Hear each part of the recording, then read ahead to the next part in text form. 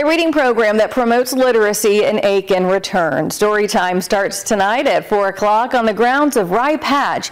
Organizers say sessions during the fall will focus on imagination and creativity. They add every family who attends will get a free book to take home. Afterwards, story time will be every Tuesday afternoon this month and in October. The last one will be October 29th.